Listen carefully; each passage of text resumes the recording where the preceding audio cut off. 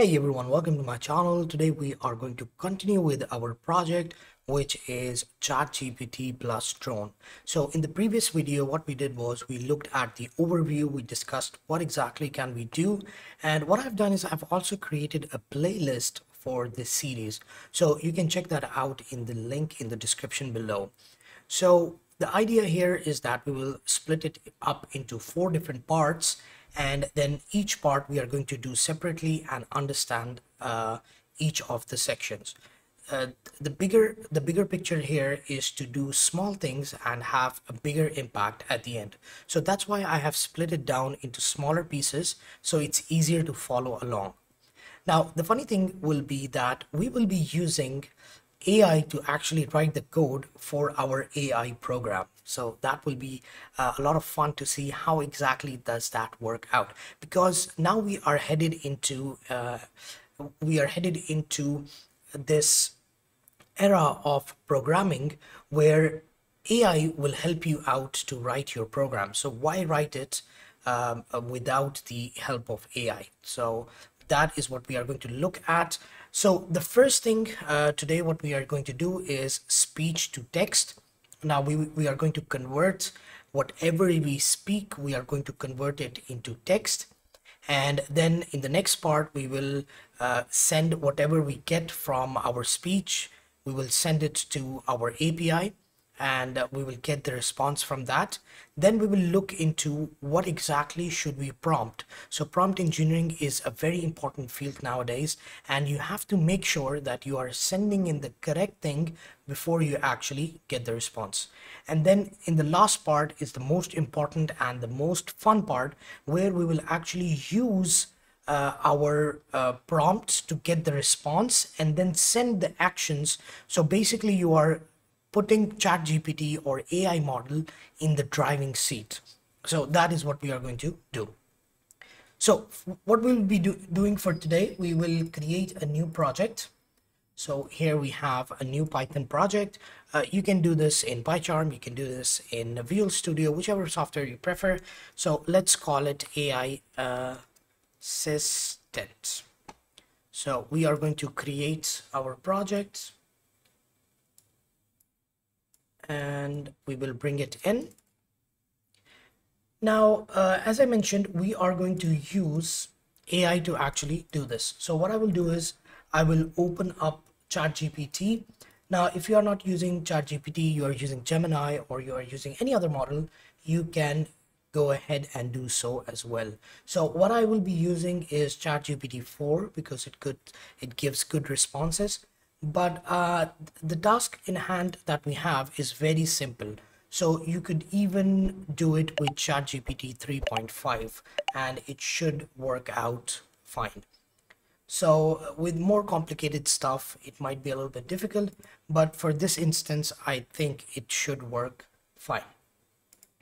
So I'm trying to log in at the moment and it's taking a while to log in.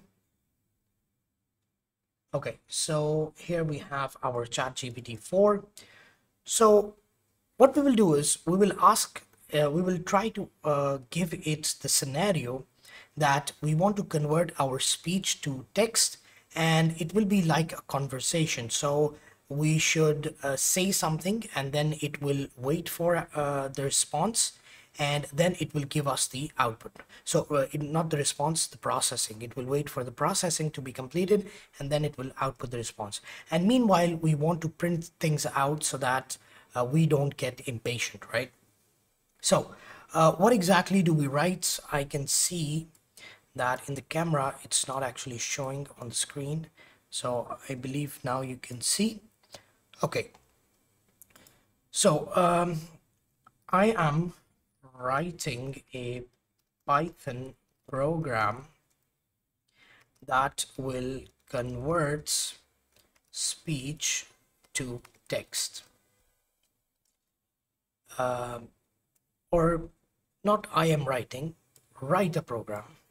Write, write a Python program that will convert speech to text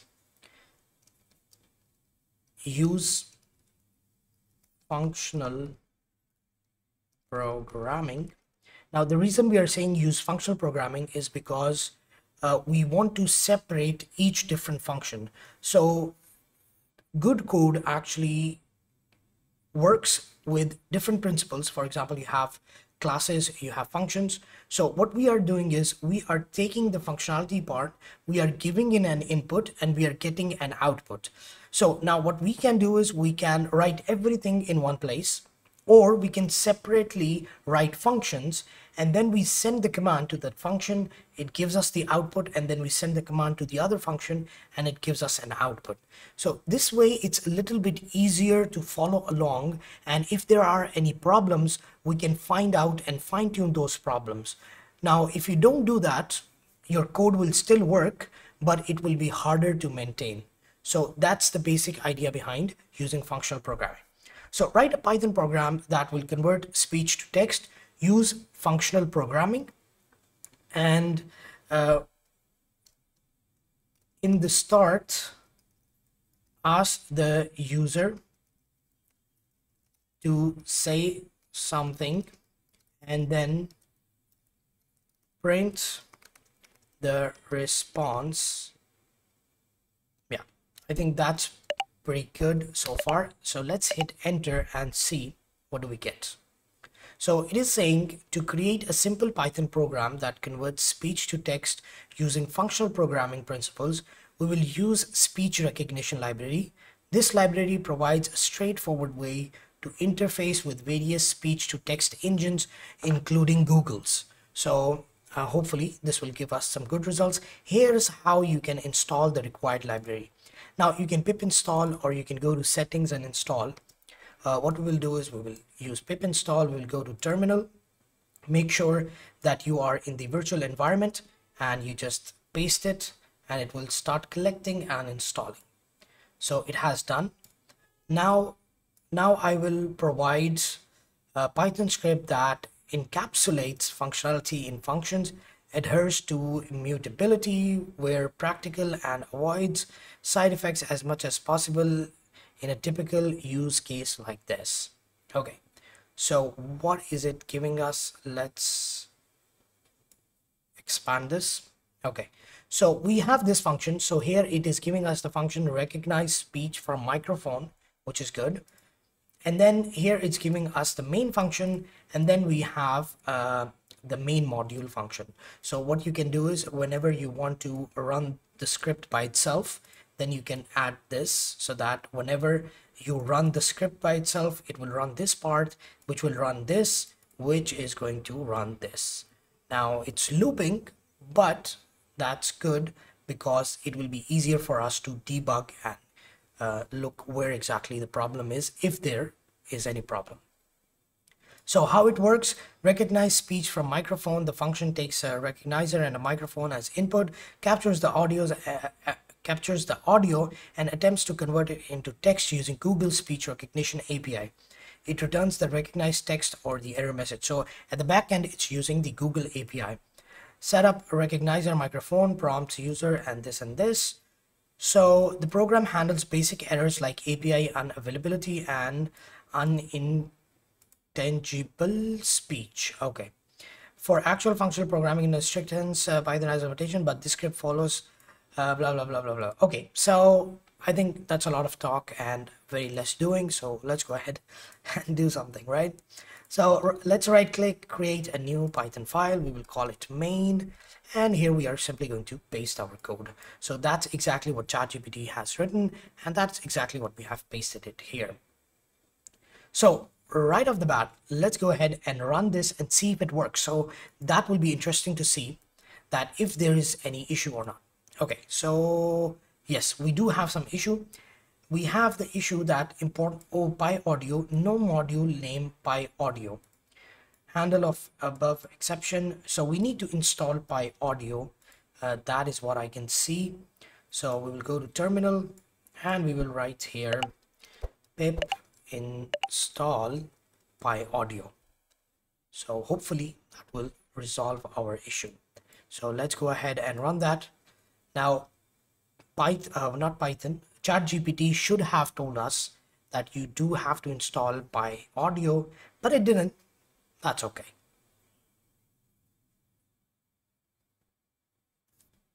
So it is waiting for us to say something, but I did say something. Okay, so it took a while to give us the response. So here it says Python, not Python for GPT should have told us that you have to install by audio, but I didn't. That's okay. Okay, so that's not very good, but uh, you get the uh, basic idea. So let's try it out again. Now the thing is what we want is that we want some sort of feedback as well. So what we want to do is we want to write here that uh, prints and let the user know when to speak and then when the uh, speech is being converted. So we want to add that part where it prints out that currently it is processing so hold on and we will give you a response so by the way we didn't actually look at the code even we should have recognize speech from microphone. We have a recognizer. We have a microphone.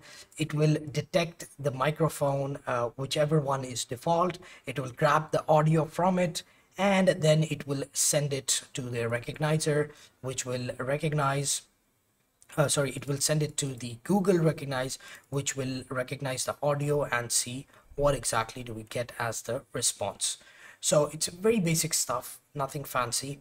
And here in the main function uh, you can see you can use it like this. Recognize speech from microphone. You can give in these two things. And then at the end of the day it will provide you with the actual text and it will print out you said this. Now it has changed the code. So let's see. Here first of all it was saying adjusting for ambient noise. Then please speak now then it is saying processing speech please wait. And yeah then it will print this. So that's um that's you can say it's in stepwise it is giving us the details of what exactly is happening. So it will be easier for the user to see and interact. What is the weather today? So as you can see what is the weather today? So that's good.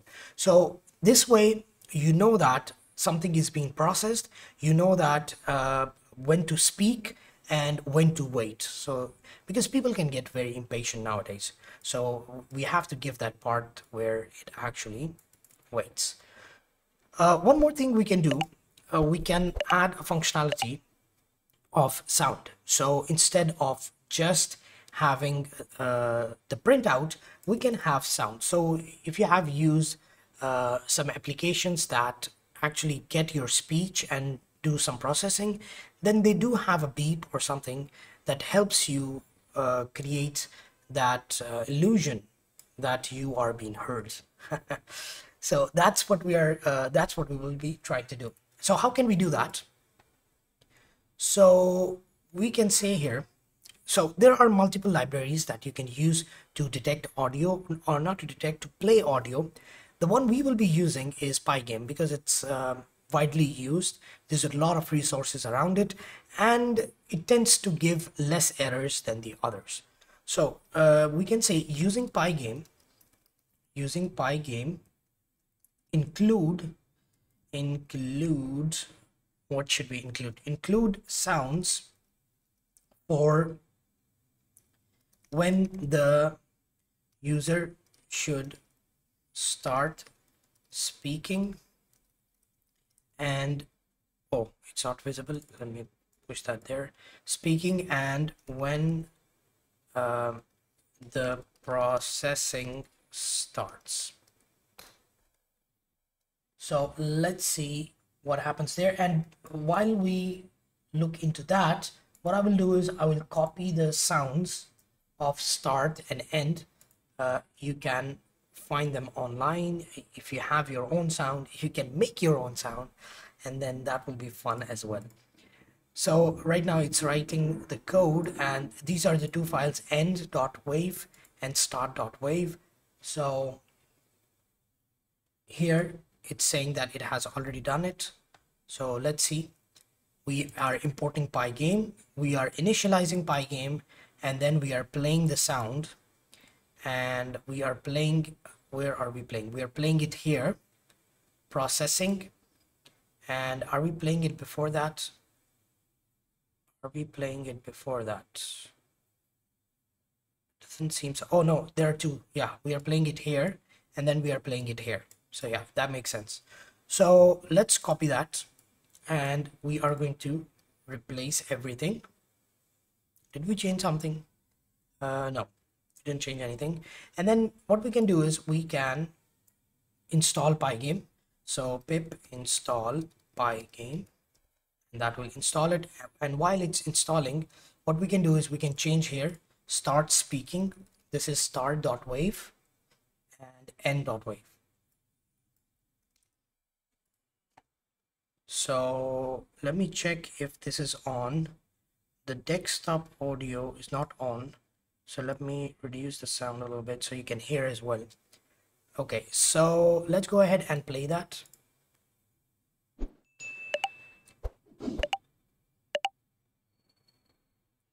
So it didn't actually wait a long time. You'd have said something. Who are you? Who are you? Who are you? Who are you? So two times so as you can see uh, it it indicates with the beep and then it has this swoosh sound at the end. Let's try that again. What is your name? What is your name?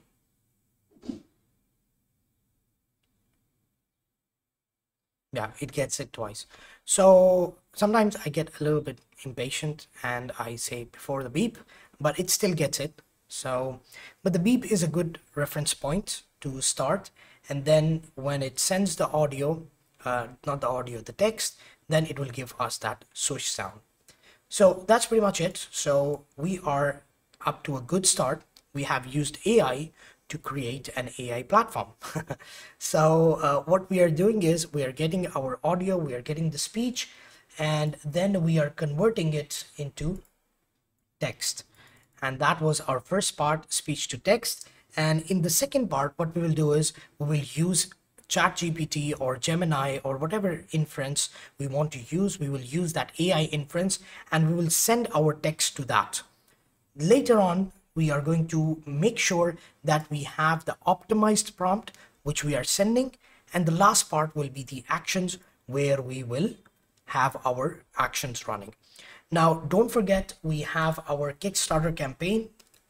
Let me show you the Kickstarter campaign that is running right now. Uh, it will end in just three days.